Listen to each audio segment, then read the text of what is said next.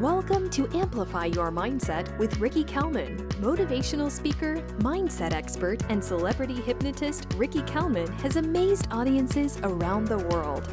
Kalmon empowers his audience with simple but powerful techniques to boost confidence and belief toward their goals and to exceed their own personal and professional expectations. Each episode features business leaders, motivators, and incredible individuals who share how mindset has contributed to their success. Put awareness and action into your life with the confidence that you'll succeed at the things you want to make happen. Here is Ricky Kalmon. Hi, this is Ricky Kalmon, and welcome to another episode of Amplify Your Mindset. My special guest is Emmy Award winning television journalist Mark Steines. Mark, along with Leeza Gibbons, are the annual hosts of the KTLA's Rose Parade broadcast.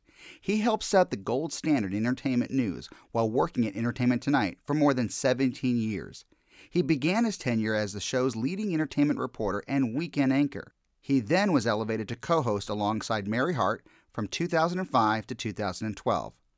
Following Entertainment Tonight, for six years, Mark co hosted Hallmark Channel's Home and Family, helping the show earn three Emmy nominations. He received an Emmy Award for the KCAL TV special Beyond Endurance Madagascar, an Emmy and Golden Mic Award Beyond Endurance Borneo, an Emmy as host for the 2005 Hollywood Christmas Parade, a National Iris Award for the special The Big Business of Sports Endorsements and nationally recognized by the Women's Sports Foundation for his impartial reporting on the Women's National Football League. He has a best selling inspiration picture book featuring his family three pound therapy dog, Norbert. The book, Norbert's Little Lessons for a Big Life, photographed by Mark Steines, features lessons on friendship, individuality, family, and love. A born fitness enthusiast, Mark was featured in People magazine's coveted Sexiest Man Alive issue and Men's Fitness magazine's 25 Fittest Men in America. Mark Steines, welcome to the program. Thank you so much. It's great to be here. Um, it's good to hear you again. Last time we sat in my trailer uh, on the set of my show and, and just had such a wonderful conversation. So, congratulations on the podcast, all the success that you have had, and I'm such a fan. Oh well, and and I am of yours as well. And it's funny because that's exactly why I wanted to have you on as a guest. Um, I'm always looking for somebody that has a unique twist or a, a story to share that can be inspiring to other people. And millions of people know you as this incredible journalist and host but and they also see this personal side of you because you're very charismatic. You you you welcome people in um, immediately when people see you on whether you're you're you're hosting or doing a story about something. And I'm I'm just I'm being very truthful here. You welcome people as though everybody's your friend. And we had this very unique conversation because we started talking about mindset before we started taping that day. Mm-hmm. And I remembered that conversation. I'm like, okay, Mark gets this. I, I, I know we're going to connect at some point, whether I did a show with you or or something else. And I knew something was going to come up in the future, and here we are today. Yeah, and and I hope this is is just the beginning of um, several conversations or interactions that we have. I really think, Ricky, it's so important that the, you know we had we just for people listening, the backstory was as you came onto the show, you were doing. Um, and with all due respect, sort of the dog and pony show, the hypnotist stuff, the people that what things are entertained by, and all that. But then when we sat and talked uh, before the show in my trailer, and and not that there's there, I'm not discrediting hypnotism because I believe in everything by that, but we had such a deeper conversation of what everybody can apply to, and and and I had it's nice to find people out there that that understand mindset, understand perspective, understand balance, understand that we're all human beings. I look at you know. Um, I try to look at this is something that I learned from John Travolta actually when I spend so many times with this man and movie sets and interviewing through the years. One thing that I felt from him is this tremendous amount of presence in anytime he has a conversation with you. You feel like he woke up that day, got dressed, and came into your world so he could meet you. And then he was going to, in some way or another, find something that made you unique.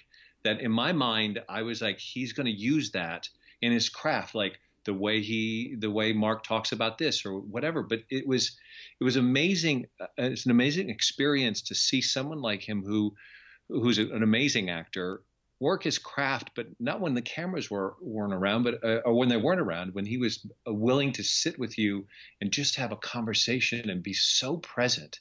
There was a point I'll share with you real quick. We were flying back. I was coming back. He was doing some toy fair or something for one of his movies in New York, and he said, "Are you going back tonight?" And I said, "Yeah." And he goes, "You want to fly with us on the jet?" And I'm like, "Yeah, I'll do that." sure, why really not? quickly. But when he goes, okay, so where's your hotel? They got all the arrangements. He goes, we'll pull up, and it was like right on schedule. They were like 7:15, be out front, have your bags, leave your bags there. I'll be in the first car. I'll have somebody retrieve, put the bags in the back second car, and just hop in with me, and we'll talk.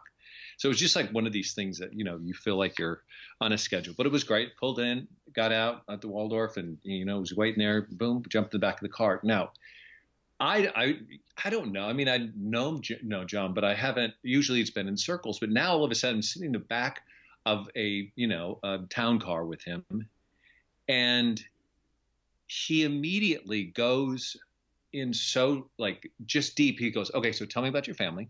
And I'm like, "Well, I got a mom, dad, brother." And he goes, "Okay, so what's your relationship like with your dad? How would you characterize your relationship with your father?" And he began to really want to know more about who I was, and I'm thinking this is John Travolta. Welcome back, Kotter. You know, like, and he was so interested in me as a person. Yeah. And that's that was one of the days I went. Mm-hmm, this is how you. This is this is how we all should relate. If we we care more about the people around us and be curious and full of wonderment, um, you know, we're going to get to know people, and you're going to be warm. You're going to be insightful. You're going to have that right mindset. That's what we're talking about today. Yeah, you know what you just said is is so true. I think that all too often we don't sit in the audience and listen to other people. We run through feeling as though we have to, you know, focus on sometimes ourselves. And it, mm-hmm. I think in communication that wow, what a powerful thing uh, that he shared that with you in in, in, in, in a very unique way to it, it's it, I'm actually kind of tongue tied on it because you know mm. here he, he was tr- he really taught you something that and that it comes off in what you do every day you, well, as you talk to people. I, I think that's what I'm uh, what I'm coming to is that it was a lesson that you picked up very quickly. Yeah, I mean, he was usually it was the other way around. I'm usually the ones asking the question. Right, right. And to see somebody kind of put you in that position and and truly care. He wasn't just trying to have small talk. It wasn't like, hey, you've been to New York often. What do you think of the city? Oh, this traffic is bad. He was he immediately wanted to know about me as a person. Interesting. And that was a huge, a, a huge compliment. And I don't think not just because it was John Travolta. Anytime you are engaged with somebody, you know, if you can make them feel like the reason you woke up that day was to run into them for that five and a half minutes. Like, you know who else does that? Is my co-host for the Rose Parade, Leeza Gibbons. Mm-hmm. She is an amazingly present individual. She is. You, don't see her like on her phone texting and then talking to you at the same time. Hmm. She's not multitasking. She is just present, and that is that is something I think in a world we live in right now, we have our mind going in so many different directions. It's and I'm guilty of this. You know, I try to be more present. I have a little baby daughter now. She's 18 months old, and I'm trying to just watch every little thing that she does because she changes every day. Right. Uh, you know, I was I was just reading something recently, um, and um, we were there were, we were, was talking about the difference between are you looking or are you seeing? Because there's two different things that's involved. Yeah, I can look at my daughter and be like, okay, she's doing this, but what am I really seeing? Is she really, you know, what am I seeing her and how is she handling this particular scenario? And I see her running around the couch, but I also, uh, I, I can look and see her. She likes to run around the couch, but I see a young child that's very comfortable on a soft surface. She's got tremendous balance at this young age and um, confidence. And you begin to really search and the more you see, I think the more the world opens up to you.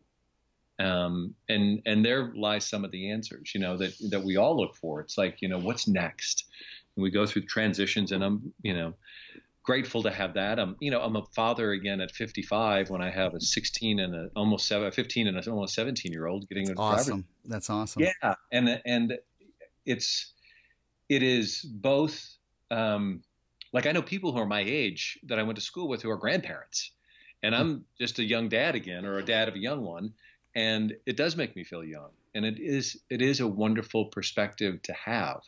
Um, some people look at that, Ricky, and they go like, "Oh God, you're going through all that again," and I'm like, "Hmm, that's interesting you say that. I, I, like I get to do this again. Yeah, that, I was just about to say that you get to do this, and that's that's a powerful thing. And some of the things that you were just saying about being so um, aware and conscious of walking and a smile and the things that you celebrate every day. I think that that probably comes from your training as as a journalist, as a host, talking to people, interviewing people. Let's go back a little bit. How, how did this all start for you? How did you get in the business? That's a great question. You know, I'm looking right now at my children, my, my two boys, and I'm I'm trying to. It's so hard because they're both. You, you can't raise your children identically, even though they come from the same you know source. They're two different people, so they think differently and act differently. But I'm trying to watch what they do naturally, and I try to encourage them to follow that path because that that is what's going to be the organic self.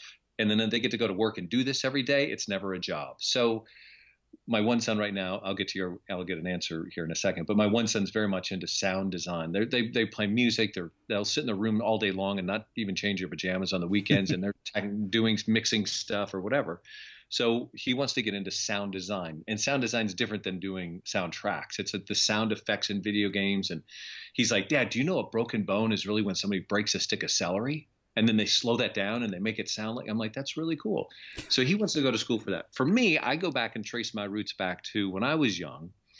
I for whatever reason, I had a close and play, and which is for those who are old enough to know, it's a record player and it really helped you put the needle on the record because kids couldn't have a you know good time doing it with a steady hand. But I loved playing DJ, and I somewhere I know they're probably thrown away now, but in my parents' house on old cassette tapes, I would record myself as the morning DJ. You know, hey, get your back out of the rag, get your day underway. I got a good song for you, and and it started off as that, and then I realized, hmm, I don't have the confidence to be on camera because I'm not a good public speaker. That's not what I wanted to do. But I thought, what if I get behind the camera? I'm right there. And I started um, shooting a lot, photography. Moved into in college. I wanted to get into film class. There was a, uh, I had a scholarship to play football in Northern Iowa, and just as I made the, the leap to do taking eight millimeter film, they they took that they got rid of that from the program because it just wasn't going anywhere. anywhere but they brought in a thing called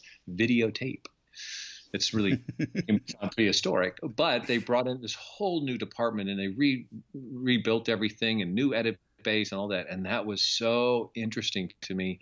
As soon as I hit that program, my grades, my GPA went through the roof. I ended up getting not only a full ride athletic scholarship, but I had two academic scholarships. Uh, paid pro, um, programs at the local TV station where I was a photographer. I ran studio cameras and I was behind the scenes. And that when I met two people who today I still respect and admire. One's a one's a senator now, um, Liz Mathis. The other, uh, she was an anchor at the time. The other's Ron Steele, mm-hmm. who is still an anchor back in Waterloo, Iowa. And they saw in me what I did not see in myself. And they kept after me saying, "Get in front of the camera." I would go do shoots. They'd be like, "Here, now you take it." I'm like, "No, I'm not gonna. I don't want to do that." And they would they would force me into a position. And I worked at it and worked at it and worked at it, and um, eventually felt comfortable enough with what I had to put it out for the world to see. But it still was intimidating, and I was still very fearful of that opportunity. And then, you know, which the story is out there and people can find it probably, but in 1988, the Republican National Convention in New Orleans, I ever since high school and The Outsiders came out, people always came to me like, "You look like Tom Cruise. You look like Tom. Oh my God, you look like Tom Cruise. Did you see the movie The Outsiders?" And I'm like, "No, I haven't look at it." So in '88, at the convention in New Orleans, I was mistaken as Tom Cruise, and it made news. Entertainment Tonight did a story on it, and after it aired, I had three job offers one in um, South Carolina, one in Bakersfield, California, and then one in Springfield, Missouri, which is where I went and had my first ever on camera experience, which I still to this day have on tape, and I look at it, and it keeps me humble. Um, but that's I know that's a long sort of an answer to your no, that's awesome. Question, but it's, I it's didn't know path. this. Yeah, because it's a path that you know many times it's hard to get into this line of work, and when the when the door opens, an opportunity is on the other side of that. You got to be able to jump and take it, ready or not. And then um, the, just to expand on that ready or not moment is when I was in Springfield for a two of my three year contract. And one day, I don't know what happened, two agents called me and I had job offer or job, you know, interviews in San Diego and one in Cleveland. I never made it to the one in Cleveland. I went to the one in San Diego, bombed terribly, just got dry mouth, was nervous. And my agent, um, Peter Goldberg, said, Hey, grab a flight, go up and see this woman, Beth Meharry, at KCAL Channel 9 in Los Angeles. And I went into that meeting with her and I was so mad at myself for bombing. I was like, this is San Diego. I could be, this would be an amazing opportunity. I was a sportscaster. So I went in to see Beth and Beth was offering a position, but there was no, there was no hosting. There was no anchoring. It was just all field reporting. And I, I don't know where I got it. If it was just angry at myself, I said, thank you, but no. I said, I'll end up in this market one day as a sports director, perhaps. If I have to go through Colorado and Denver and Dallas or Chicago, whatever it is, I will be back here. And I went home to Springfield, back to my job and my humble beginnings. And about a week or 10 days later, they called and said, We'll give you one day a week, Saturday nights. So I took it. I came to LA and I was here for a short period of time. And I was driving home on the 10 freeway. And our, our KCAL Channel 9 here in Los Angeles carried the Lakers. And when I was driving and the Lakers had been on and they won and they were doing really well at that time. And I thought, wow, you know, a lot of bars in town probably had the game on and then just didn't change it. And there's a great chance people probably saw me. And then I went, well, if the bars in town have that on, because you, you go out and you know sports bars that have it, I wonder if Johnny Carson is a Laker fan. Oh, and then it hit me.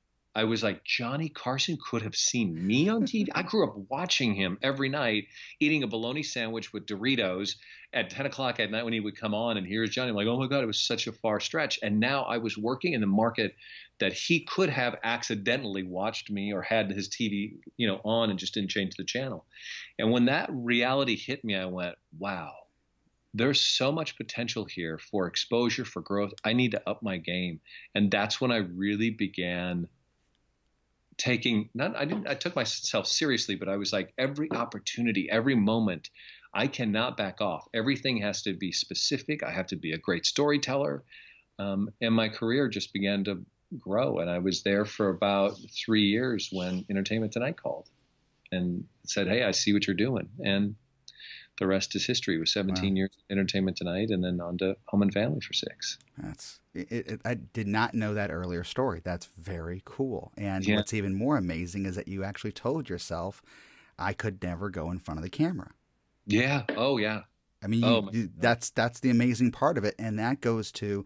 Now I'm going to hit to the listeners here because the people that listen to this are going to be the you know the sales individual, the entrepreneur, the CFO, the CEO, anybody that speaks mm-hmm. in public, when you say something like that, I cannot do it. Your brain works really hard to to really fulfill that thought process. You win to fail based on that belief, and mm. it took you know it took a while. It took other people to inspire you, and then you got it. You understood that fuel, and yeah. that propelled you who you are today. And and and it looks so natural. Again, I'll go back to the we first started talking at the beginning of this program is that when you're talking, your audience feels as though that, that you are talking directly. This is my personal opinion, and I, I'm sure I'm not alone.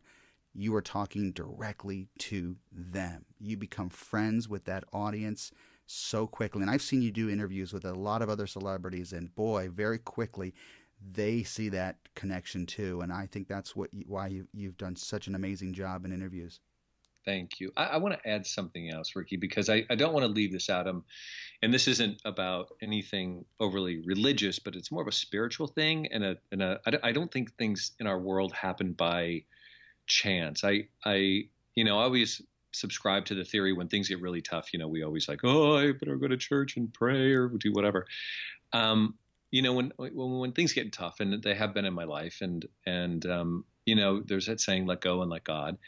So that takes a lot of the pressure off yourself. However, there was a moment in my career where I just had to say there was something that it just was. It was. It meant was meant to be. Mm-hmm. When I was at KCAL, we would do a series that was called California Adventure, and it was because we wanted to celebrate the lifestyle in Southern California. You could go surfing. You could go skiing in the morning and come down and surf at night, you know, out of the mountains. You could go rock climbing, mountain biking. You, there's so much you could do here. So I would go out and do these things. And the one particular story aired where I was doing indoor rock climbing, um, which I was not very good at. And when I answered the phone in the sports department, this guy, um, John Craig, says, Hey, just saw your story. That was really good. I see what you're doing. I got a California adventure for you. And I was like, What do you got? And he goes, Ah, you probably wouldn't do it. And I go, Lay it on me. I'll do it. And he said, and this time I was, you know, young and full of, you know, look at me, I'm in LA. And he goes, Why don't you come? We, we, we walk on fire. And I went, What? and he said, "Yeah, we we we walk on fire. Come on down." And I and in my mind, I'm going, "Oh, this is like one of those circus acts where you lie down on a bed of nails or you chew glass or something." So I end up completely unaware of what I was getting into. But um, the Lighthouse, Lighthouse Institute, there were two guys, John Labriola and John and John Craig, um, or Tom Craig, um, put on this evening of really learning about what they referred to as their lieutenant. In your brain, you know that person that talks to you mm-hmm. that tells you you're not good enough and you don't you have no business being here and it all comes back to the fire walk which led me down the path i did tony robbins stuff and all that and really worked on myself but what it did was it helped restore that confidence that i didn't have back in waterloo iowa it helped me find those insecurities that i have and understand that we all have them we're just hiding them from people absolutely and it's okay it's okay but it's also us in the way of ourselves. Like we're if we just get uh, if we get out of our path, we'll be able to reach success. We'll be able to stand there up on that stage and know that it's okay to be you and be present. Period. Absolutely. Absolutely. In, in my corporate training programs, um, one of the examples that I'll lead people into is very similar. The most powerful hypnotist in the world is ourselves. So that lieutenant that was talking to you, that voice, is mm-hmm. that inner hypnotist, either guiding you to the path of negativity, doubt, disbelief, frustration, anger, mis- misdirection, whatever it may be. Mm-hmm. Or it could be the voice that guides you and says, hey, it could have been worse. I'm going to do better today. I can celebrate those magical moments that make me feel good. Um, I can be as good as the guy next door and even better. And that voice yeah. that literally guides you because I really think a lot of people dismiss the power that it has. And, and you know, it, it's a much longer conversation, but that simple little example. And again, I tell people all the time, listen, I'm not, I'm not inventing the wheel again here. I'm just yeah. showing you something to look at in a different point of view. And if you understand what your example and my example now, well, that's everything. We just want to we want to be able to get this information out to you and if one thing resonated with you today in this podcast, this conversation, the story, the example that you're sharing, then you understand that inner voice even more today. Mm-hmm. It's a very powerful thing. How do we? How would you suggest? You know, I, I the reason I brought up the firewalk is if somebody had told me to go to that, that oh exactly. whatever, I wouldn't have gone. I had to kind of be this is why I think it was sort of divine intervention. It's that I was sort of like led into it in the only way I probably would have. But once I was there and the discovery happened, I was like, oh, now I'm really interested in this. But what about what do you say to people who don't know how to listen to that inner thought or that inner voice of theirs? How do they find it? How do they go after and search for it? And because a lot of times it it's scary, you know, to, sure. to sit back and go, these are my fears or my weaknesses or my demons or whatever that well, are really guiding me. Yeah, yeah. Let's go farther, deeper into that question, and it's a much larger, you know, answer. But we're afraid mm-hmm. of change. We like comfort. People like that warm, fuzzy blanket. They they don't want to take it off and get cold. Uh, change is scary, uh, and and the unknown is scary. And sometimes when the unknown, if you if we don't know enough about it, we dismiss it and go, "It's just not possible. It's, I'm not interested," because sometimes again we we don't have enough awareness towards growth and mm. our own abilities. And I think that it starts slow. Uh, nothing happens overnight. Look at the, look at you've done in your career, and if you look back at all my other guests in the past, nothing happened over. There is no overnight success. The way I would say it, overnight yeah, success took yeah. thirty years. Yeah. You know, um, I, I think you start slow by creating more examples. That's what this podcast is about. This is what these interviews are about and these conversations about giving people different ways to become more emotionally aware of their thoughts. And I'm not saying we got to get really emotional, we got to cry, and we got to really deep down, and we got to get that, we got to go to the very bottom. No, I, I, what I'm saying is slow down. Become mm-hmm. more aware. Take a few moments. We live now, and again, a society of we expect everything so fast. We can answer five emails, one conversation, Snapchat, face, face, yeah. Facebook. We, we try to do so much at one time. And I'm just yeah. as guilty of doing all those things. And I have to put myself in check every single day. So, to the person that says it's not possible, I'm not interested, I don't believe it, I would just start by saying, hey, what, can we just slow down a minute?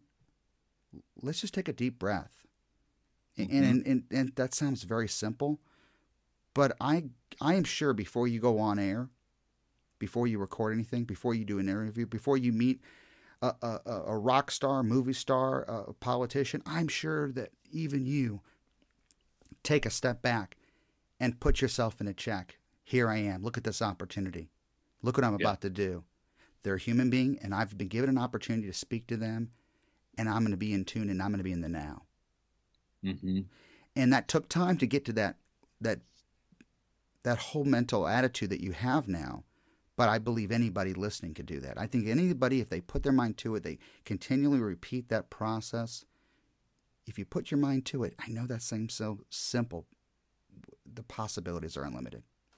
There's a, a moment that happened in my life too that was very important. I was in Madagascar. No, I was in Borneo shooting a documentary.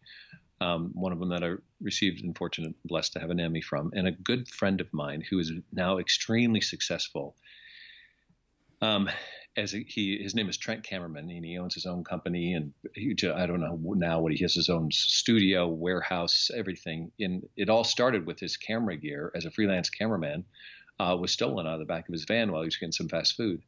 And we we were having this conversation. We were in a tent, and we were shooting um, this race called the Raid Gauloises, which is a French race, and we were discussing that and he was still in the process of rebuilding his whole life. And the, and the, the conversation about failure came up because we're so afraid to fail. And he looked at me and he goes, he said something that just completely was, I'm like, dude, what? He goes, I love failure. And he just said it as a matter of fact. And I go, I go wait, what? And he goes, no, I really do. I love failing. And I go, what, what, what do you, why? Like, that's what most people try not to do. And he goes, no, because if I set out to do something, I have an expectation of what the outcome is going to be. And if that expectation doesn't happen, it's now considered, you know, a, a failure. Like I, it wasn't what I expected it to be. But within that gap is what's called learning. And that means I have an opportunity to grow. Right. So therefore, I don't fail.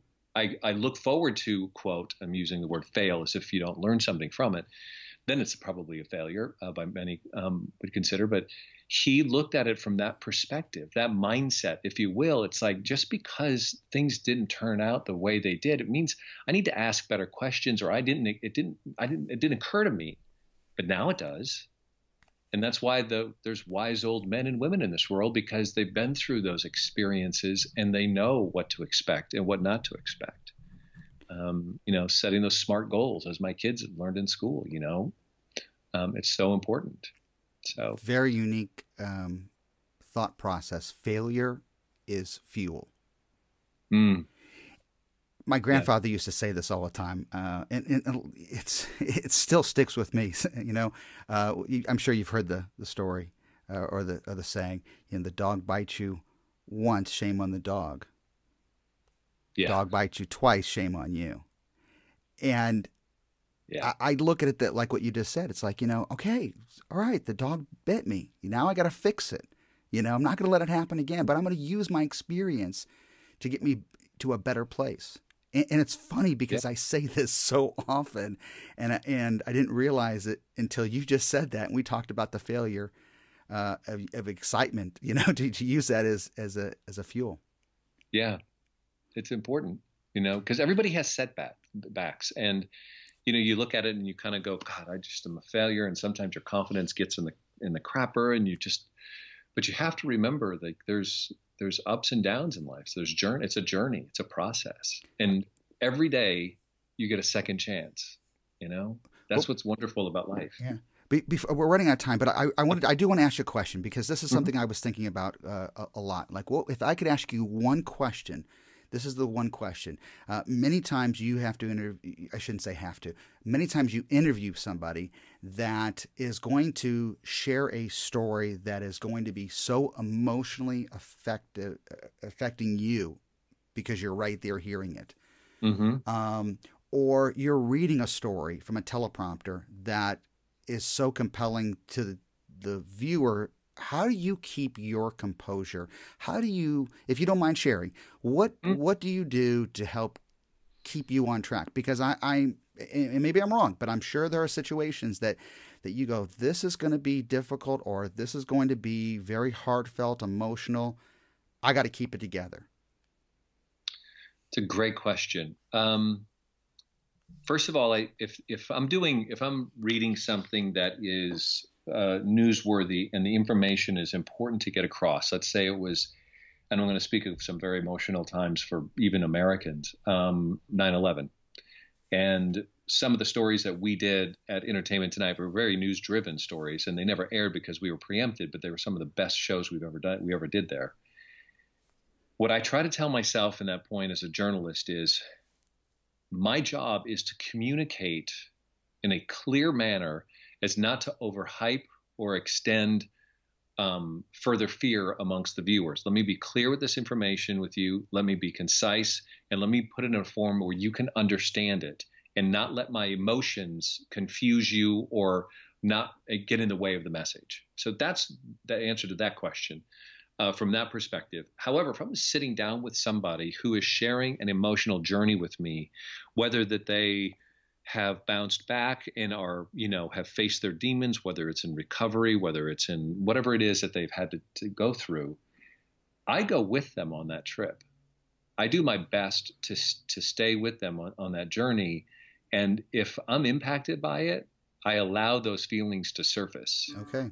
Um, it's not it's not something that you know. Otherwise, I'm not human, and um, again, it goes back to uh, this. This is an experience that um, I'll leave with you. Is so when I got I, I'd gone through five years of acting training, Stanislavski method, and one of the lessons that I learned in that school was my teacher or my you know acting coach said he goes, look, we love to go to the movies.